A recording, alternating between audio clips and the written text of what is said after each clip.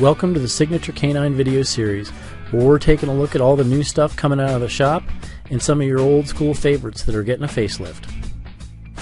So, in today's video, we're going to take a look at the RS 11, which is the tactical bite suit and basically this is a suit where the sleeve is integrated into the vest it's not uh, it's not a full piece back what that does is it actually gives you a lot less room in the armpit so it looks a lot more like regular street clothing it doesn't uh, appear near as much like a bite suit and you can see in the video here that it looks a lot more like a jacket.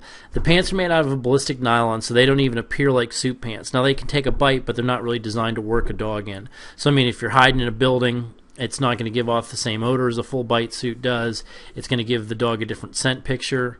And it's going to put you in a position where you can stay protected. Pants give you enough protection that you're not going to get killed in them. At the same time, not really made to work a dog. Now, the jacket you work a dog on just fine. And this is this is a real testing suit. You're going to give a lot more of your body to the dog. It's not a dog that you're going to hide in near as well. Um, the dog's actually going to have to come in and get some of you, which you know puts the dog in a different mindset and I think brings him to a different place as far as uh, you know as far as the way he thinks and the way he's working and what he's doing.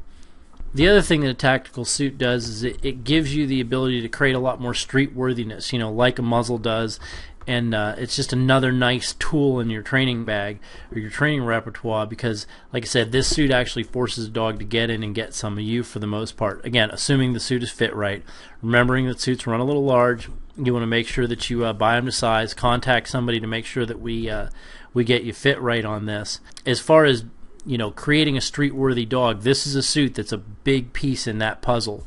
Like a hidden sleeve, like a muzzle, this is just one more piece in that puzzle. And if it's something you can get into and uh, you don't mind getting beat up a little bit, uh, this is a pretty nice suit to uh, you know to help proof your dog for the street. All right, I think that's it for the RS11.